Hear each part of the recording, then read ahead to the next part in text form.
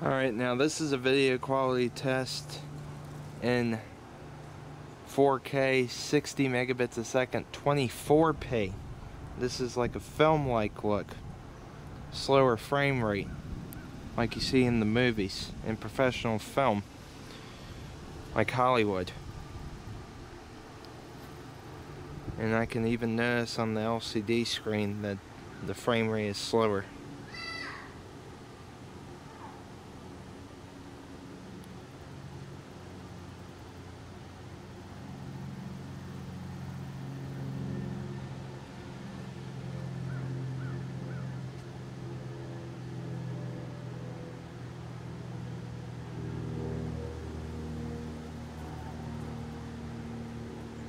Still looks great though.